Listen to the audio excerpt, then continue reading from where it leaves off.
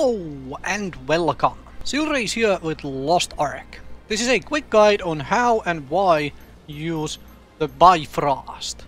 Bifrost is essentially a teleportation thing. Uh, you set the location for yourself. By default there is only one active you can use.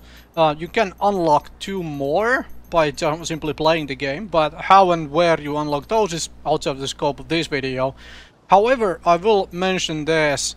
This is probably the best benefit of having Crystalline Aura active. You get two more Bifrost points.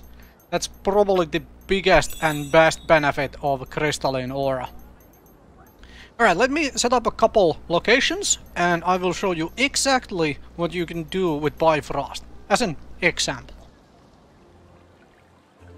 So, I have my Bifrost set up I already did one of them, just to show that there is a 2 hour cooldown on them. And picked up three Una's tasks I want to do this week for the honing materials. And I set up the three Bifrost locations for those exact places. So, I just click a button, pay a little bit of silver, and I am instantly in the location where I want to do my Una's task.